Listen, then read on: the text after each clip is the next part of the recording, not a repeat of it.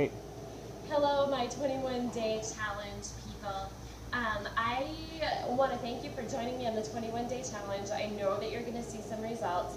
But part of the 21 day challenge is getting exercise. You need to exercise every day for at least 10 minutes and I'm all about doing things that are easy, sustainable, and don't take a lot of time because I think that that's where most of us fall off the bandwagon. We get on these marathon workouts and we can't keep them up and then we get discouraged and quit. So the purpose of what I'm showing you today is just going to show you a few simple exercises that you can do in 10 minutes or less um, during your 21 day challenge because I just want you to do something. So one of my favorite exercises because it is so effective, good old fashioned squats. Now you don't have to start with hand weights. Maybe you want to start um, without hand weights, and as your program progresses, then maybe you want to add two to three to five pound hand weights, whatever you want to do. I do five pound hand weights, and here's how I do my squat. Okay? Now I do about 10 of those, and then um, I just gradually work my way up. So usually at the end of 21 days, I'm doing 20 to 25 squats. Now, the second exercise I like to do is I like to do lunges. Um, and what I do is I like to do bicep curls with them because I'm working more muscle groups.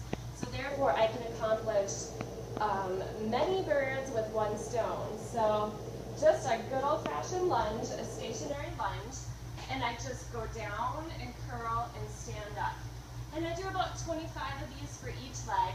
And then after 25 reps, I do baby dips, like this. And let me tell you, after 25 of those on each leg, when you do, when you get to the part where you do the baby dips, your legs and your butt are going to be burning. So that's a good thing. Then I do um, wall sits.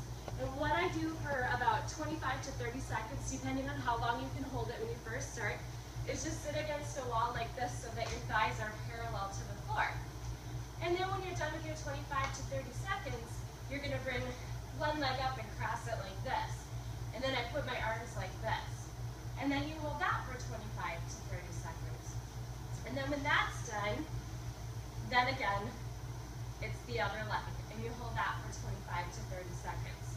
Now, as your 21 days, as you're going through it, your goal is going to be to try and hold those wall sits for as long as you can. Now, we can't forget about abdominal exercises. And I hate abdominal exercises, so I try and get as many core muscles in as I can. So what I do is I just get into plank and I hold it for as long as I can. So here's my plank.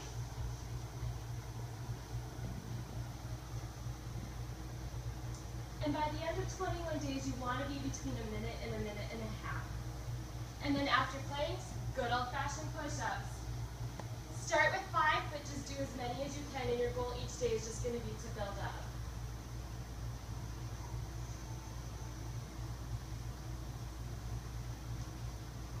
Okay, and then that's what I do.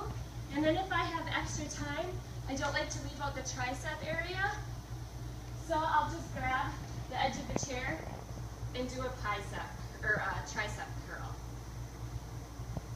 And I usually start with 10 reps each arm and then I'm done. I usually don't do a whole lot more than that because again, it's just supposed to be a quick 10 minute workout. I want it easy, I want it sustainable, but I also want to be building muscle because that works to your benefit. So that's all folks.